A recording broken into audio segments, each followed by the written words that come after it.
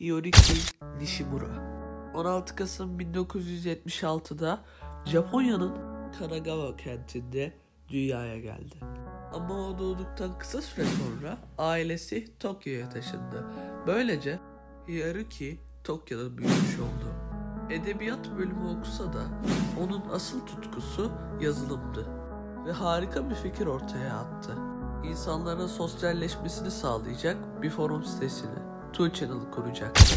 Two Channel'ın sadece Asya'da kullanılabilmesinden rahatsız olan bir yazılımcı, ona Two Channel'ın aynısını Amerika ve Avrupa'ya yapmak için teklif götürdü. Ve Hiyaruki bunu kabul etti. Bu ikili farkında olmasa da internet kültürünü başlatacak, sayısız firmaya ve kişiye zarar verecek, internet tarihinin efsaneleşmiş forumlarından birini 4chan'i kuracaklardı.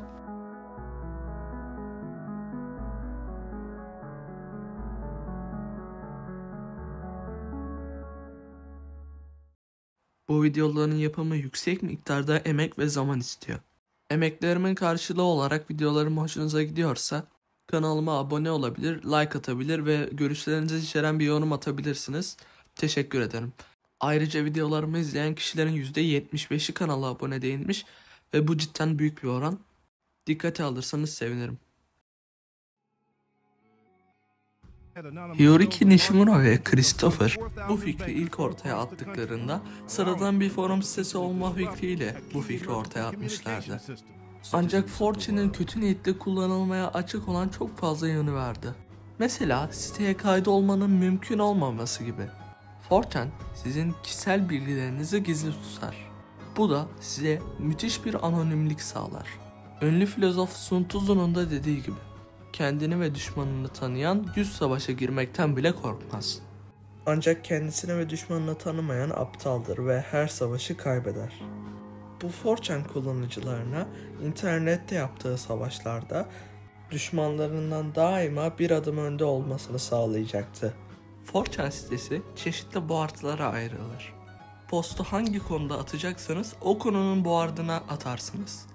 Mesela paranormal kategorisi veya politik. 4chan'in bazı boardları gayet sıradan olsa da bir takım boardda troll etkinlikleri düzenlenirdi. Ve 4chan'ın asıl ünlenmesini sağlayacak şeyler de bunlardı. 4chan'ın anonimliği aynı zamanda 4chan kullanıcılarına büyük bir güç sağlayacaktı. Bu yüzden ise birçok kötü niyetli kişinin 4chan'e doluşması kaçınılmazdı. Ve öyle de oldu. İnternetin karanlık çağlarında internet hakkında bilgisi olan kişiler anonimlik gibi büyük bir silahla 4chan'e toplanmışlardı. Ve internete hükmedecek forum sitesinin temelleri ise böyle atılmıştı.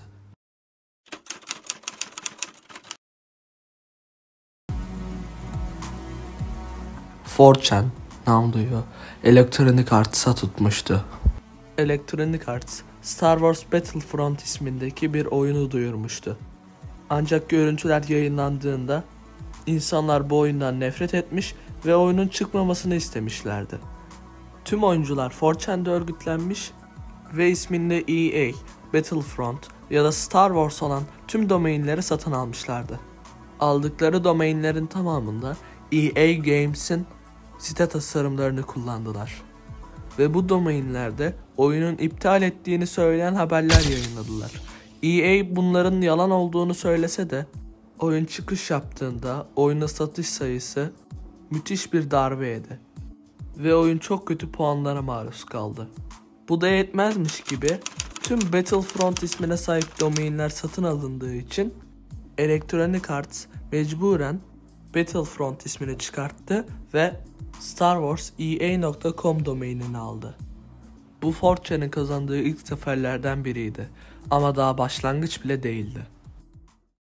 Bu zaferden sonra 4chan kullanıcıları müthiş bir zevk almış ve troll saldırılarını devam ettirmek istemişti. Ve sırf bu yüzden gruplar kurdular. Ve 4chan kullanıcıları internette popüler olan her şeyi teker teker trollemeye başladılar. Artık 4chan trolleri haftada bir kere yapılmak şartıyla binlerce insanın katıldığı bir aktivite haline geldi. Ve 659 bin kişilik yeni troll planlarını hazırladılar. Justin Bieber en çok dinlenme aldığı zamanlarda Amerika dışında konser vermek istiyordu. Ama bu ülkenin neresi olacağı konusunda kararsızdı. Danışmanlarından biri bunu hayranlarına sormaya karar verdi. İnternette bir oylama başlatacak, tüm ülkeleri bu oylamaya ekleyecek ve kazanan ülkede Justin Bieber konser verecekti. Ama hesaplayamadıkları bir şey vardı. İnternet sadece Justin Bieber'ı seven kişilerden ibaret değildi. Aynı internetin içinde eğlence için tüm internete zarar veren bir gamer topluluğu da vardı. 4chan'daki kullanıcılar bu oylamanın yapılacağını öğrenir öğrenmez Justin Bieber'ı göndermek için harika bir ülke seçtiler. Burası Kuzey Kore'ydi. 4chan'daki binlerce anonim farklı IP'lerden bağlanıp Kuzey Kore'ye oy atıyorlardı. Dünyanın dört bir yanındaki Justin Bieber hayranları kendi ülkesine oy atarken tüm 4chan üyeleri Kuzey Kore'ye oy atıyor. Kuzey Kore ise tüm rakiplerini geçiyordu. Ve oylamanın sonucunda Kuzey Kore birinci olmuştu. Justin Bieber elbette Kuzey Kore'ye gitmedi. Ve asla bir daha böyle bir şey yapmama kararıyla Amerika dışında konser vermedi. Yıllar boyu bu olay hakkında şakalar yapılacak ve 4chan unutulmaz bir zafer kazanacaktı. Buraya kadar anlattıklarımın hepsi eğlenceli şeylerdi ancak bundan sonra 4chan'ın kontrolsüz hırsı onların yok oluşuna neden olacaktı. 4chan'daki anonimler her gün daha ciddi şeylere imza atmaya başladılar. Açık adresi ifşa alan yayıncıların evine polis yollamak veya Avustralya'da Starbucks adına sahte posterler hazırlayıp Starbucks'a 100 milyon doların üstüne zarar ettirmek gibi.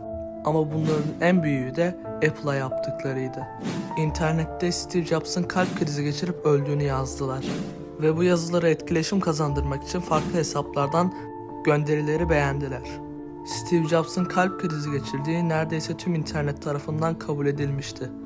Ancak bu sahte haberler Apple'a 80 milyar dolar zarar ettirecekti. Ayrıca Apple'a zarar vermekle kalmayıp Apple kullanıcılarına da zarar verdiler. iPhone'ların su geçirmez olduğu haberlerini yayınlayıp bu haberleri yine etkileşim kazandırıp çoğu insanın telefonunu suya sokmasına neden olmuşlardı. Artık 4chan'ın verdiği maddi ve manevi hasarlar hesaplanamıyor. Hatta 4chan hükümetlere bile saldırıyordu. Ve sırf politik görüşlerinden dolayı 4chan'den türeyen bir hacker grubu da doğdu. Bu hacker grubunun ismi Anonymous'tu. Anonymous'la 4chan birleşip Avustralya hükümetine saldırdılar. Ve yine astronomik rakamlarda zarar verdiler. 4chan'e artık birilerinin dur demesi gerekiyordu ve buna dur diyen kişi FBI olmuştu. FBI 4chan'i az önce bahsettiğim olaylardan dolayı gözetim altına almıştı. 4chan'i Hiroyuki ile ortaklaşa kuran Christopher, FBI tarafından soruşturuldu. Christopher bu olaylarla hiçbir bağlantısı olmadığını söyledikten sonra 4chan'dan ayrılıp Google'a geçti. Ve 2015 yılında 20'den fazla ülke 4chan'a erişim yasağı getirmişti. 4chan o günden sonra hiçbir saldırı gerçekleştirmedi. Velhasıl kelam, ünlü başpiskopos Fenelon ne demiş? İnsanların hırsı ve tamahı mesut olmamalarının tek sebebidir. İşte 4chan'ın sonunu getiren tam olarak buydu. Peki Anonymous'a ne oldu dersiniz? Hani size bahsettiğim hacker grubuna. FBI'ın 4chan'ı soruşturmasıyla yakalanmış olmaları gerekiyor değil mi? Hayır, onlar faaliyetlerine devam etti ve milyarlarca dolar vurgun yaptı.